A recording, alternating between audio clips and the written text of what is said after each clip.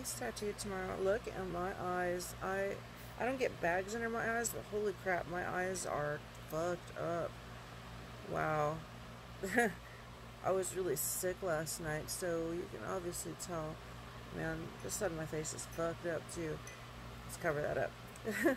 but anyway, I'm going to get my spider redone. I have shaved the side of my head, ish. Not completely, but I shaved this bit. So this is what it's looking like. The spider web was supposed to go all the way here, but it's not. And the spider, when my hair is down, it's it's not visible. And I want it to be visible. It's even like that. It's not really visible. So, like this, um, I want uh, the spider web to go up this way and meet my hairline. Probably come out like this and then get this made a bit bigger. And then I don't know, um, maybe right here add another one or even right here going up here. No, probably I think right about here. I don't want it to be too, ugh, I would just like it to be, you know, visible. What the hell is that? That's all. I just want it to be seen.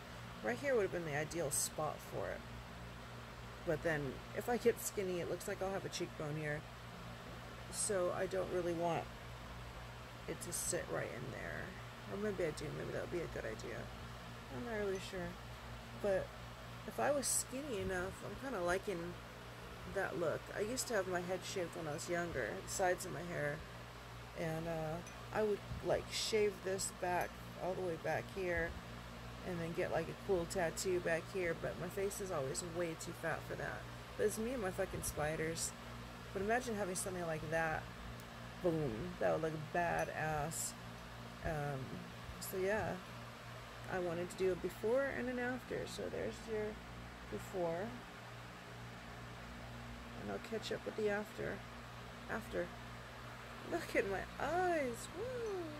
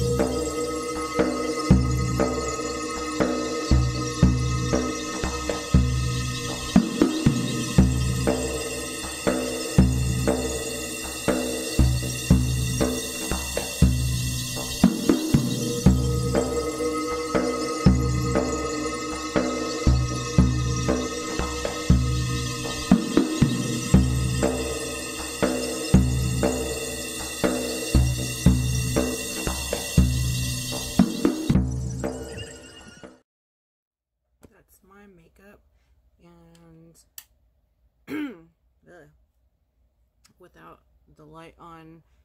I, I do a lot less under here now than I used to. And this gives it extra sparkle. This is a beautiful candy apple red color. I love this so much. And my contacts are they're like pink and gray or something with glitter. You can kind of you can see the glitter in it now and of course the glitter's inside the lens. It's not rubbing against your eye like some people think. And so I am ready to go. I'm gonna have a smoke with Josh when I get him up. And then we'll get ready to go. And then I will do a catch up after this is done and hopefully it'll be good. I'm not feeling it too much at the moment because I haven't been able to get in touch with anybody there and it kind of seems like they're not nobody around here is very nice like all the the um, tattoo studios seem to be pretty rude and it's been hard enough just finding these people to go to because it's actually illegal in the state of South Carolina to get a face or head tattoo, which is stupid. I mean, I get it that they're looking out for you, but really you should be allowed to make your own decisions. And yeah, so it's been a nightmare just trying to find anybody who can do it and who will be good at it because it's right there on my face. I want it to look nice. And, um, but they're just, everybody here seems to have some major fucking attitude and it gets old, like trying to write and write and they're just like, it's, it's below them to want to do something so small in somebody. They just want the big money, but they don't realize that giving people what they want will have return service and they'd get a lot more work out of you if you're happy in the first place. But whatever.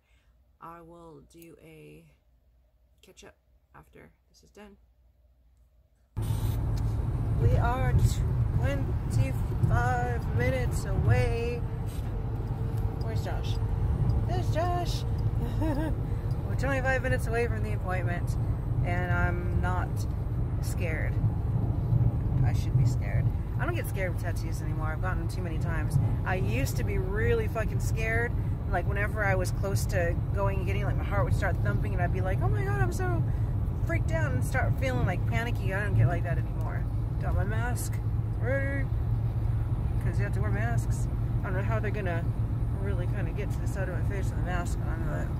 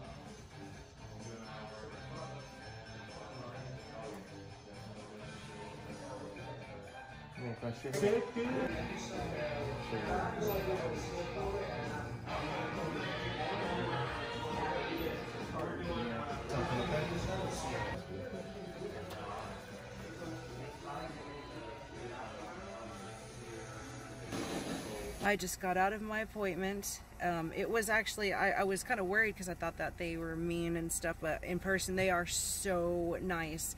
The tattoo artist, uh, Matt, he's really nice. The owner's wife was there. She's so nice. She was like following me around and taking so pictures and telling me I was beautiful. I look like a princess and taking pictures and video. She's, she's so sweet.